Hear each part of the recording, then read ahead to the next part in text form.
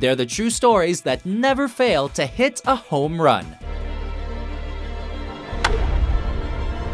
Welcome to WatchMojo.com, and today we're counting down our picks for the top 10 sports biopics. Go get him, champ. For this list, the films in question must be based on a real life story, but doesn't solely have to be about one single person involved in sports, and thus can include teams, multiple athletes, and so on. Nobody gives a shit. This means that any film that are mostly fiction won't make it.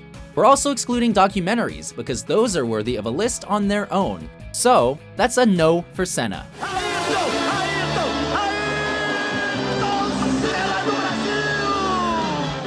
Number 10, The Hurricane. Hate put me in prison. Love's gonna bust me out.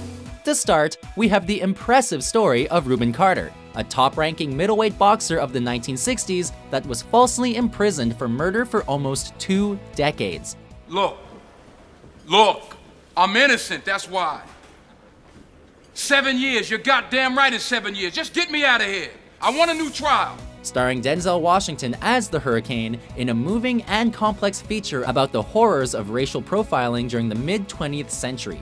The actor's performance has been praised as being equal to his turn in Malcolm X. You're innocent. I've been innocent for 16 years. That's how long I've been in here.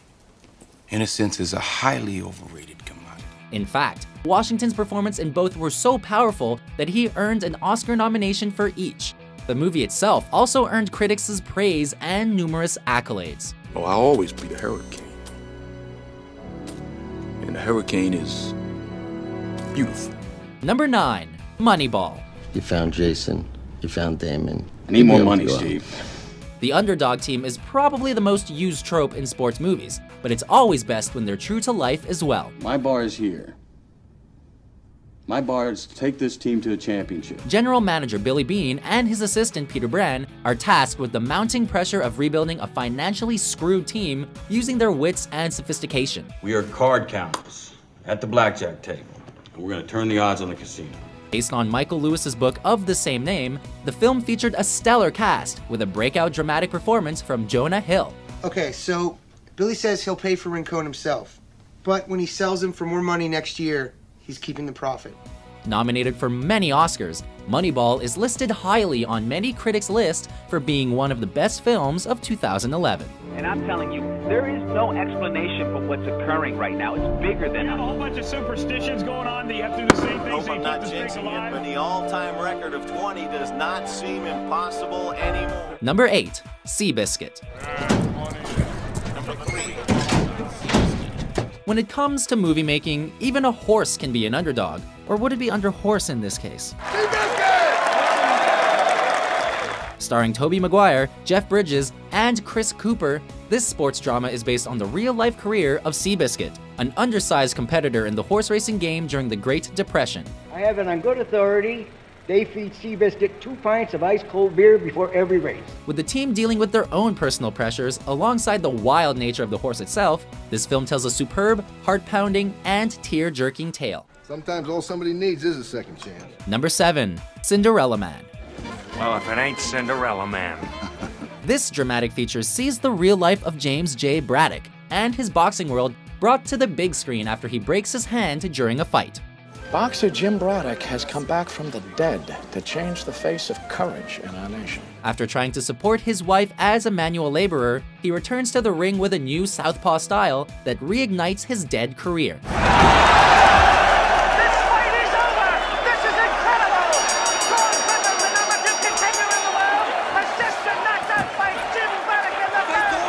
And if you were unsure about Cinderella Man when it first came out, you didn't have to worry about losing your cold, hard earned cash, as AMC Theaters promised refunds to anyone dissatisfied with the film.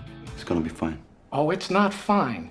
No, it's not. What the hell? You don't tell me? What I the owe hell kind of everybody crap money, is Joe. that? I owe everybody money. Out of hundreds upon thousands of audience members, only 50 asked for their money back. Now that's quality you can't argue with. Cinderella Man. Yeah. Oh, I like it. Number 6. Remember the Titans. We are the Titans. We are the Titans. Mighty, mighty Titans. Denzel Washington is back as Herman Boone, this time as an African American coach, introducing a racially diverse football team to T.C. Williams High School in 1971. Coach Boone, black folks have never had anything in this city to call their own except humiliation and despair. Striving for harmony between the students, Boone takes to harsh and rigorous training to try and keep the young boys working together. They combine the white school and the black school into one. The stakes are high. If the team loses once, Boone will be fired. So it's up to the Titans to battle for equality and their coach's job in this heartfelt Disney feature. Let's go. It's out time. Everybody in. Out time, out time, out time. Titans on three. One, two, three, time. Number 5. Ali. It's time to get jiggy with it in the boxing ring, as Will Smith takes on one of the world's most famous boxing superstars. From this day forward, you will be known as Muhammad Ali. Telling the tale of Cassius Clay Jr. through his rise to the Rumble in the jungle, the film details the events of Ali's life, namely, his conversion to Islam and his most famous bouts. Reaching its climax in 1974 with Muhammad Ali's bout against George Foreman, Ali lets the Fresh Prince show off his fantastic acting range, but sadly, there's no theme song by Will Smith to accompany it. You my enemy, not no Chinese, no Viet Cong, no Japanese. You my poser when I want freedom. You my poser when I want justice. You my poser when I want equality. Number 4. Chariots of Fire Best known for its Vangelis-composed opening theme, this historical drama introduces us to the stories of two polarizing Olympic runners in 1924.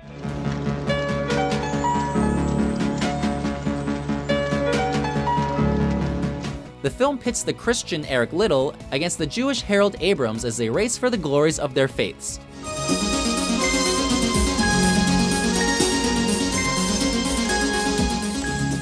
While the Chariots of Fire soundtrack won an Academy Award for Best Score, it's the heartwarming and powerful nature of the story that gives the true classic its real take-home value.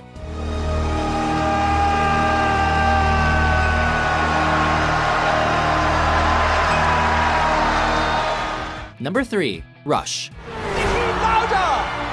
the rivalry of real-life race car drivers James Hunt and Niki Lauda heated up during the 1976 Formula One season. The other thing I'm remembered for is what happened on 1st August 1976, when I was chasing him like an asshole. Starring Chris Hemsworth and Daniel Bruhl as the McLaren and Ferrari drivers respectively, the film mixes high-paced action with moving drama as the two battle to keep their careers and their personal lives intact. Hey, asshole! It was my line. I had that corner. What, do you mean the one that you spun out of and finished facing the other way? I think that corner had you. Impressive acting and storytelling keep the emotions high with every lap of this car-based biopic. And now we're both champions of the world. It's not bad, huh? No, it's not bad. So don't let me down now. I need you busting my balls. Get back to work. Number two, The Fighter.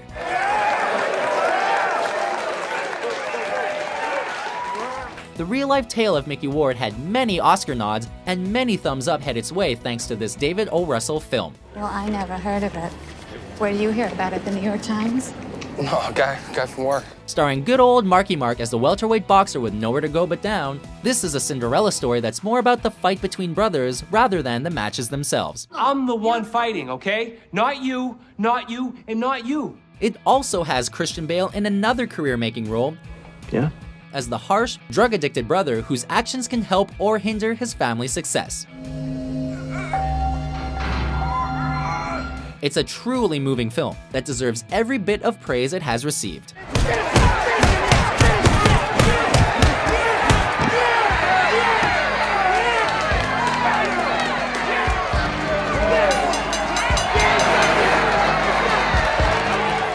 Before we unveil our top pick, here are a few honorable mentions.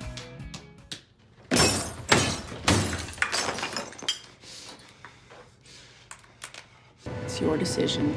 It's your life. Okay. Okay, what? This is the time to build our nation. Using every single brick available to us. We'll use the bat. Uh, that way we don't have to touch skin. All right. Come on, fellas. I do it. Number 1. Raging Bull. This dark and depressing biopic by Martin Scorsese shook up the film industry alongside the genre of biopics themselves. Hey, Ray. Level went down, Ray. After the booming success of the fictional story of Rocky Balboa in the mid 70s, Robert De Niro goes in the complete opposite direction with his portrayal of real life middleweight boxer Jake LaMotta in this sports drama. Why didn't you tell me, huh? Did you f my brother? Huh? Get off Did me, you you fat pig! Did you? Huh? No! Drowning in the vices of his own jealousy and pride, LaMotta's story is one of highs and lows and the effects they have on him and his family.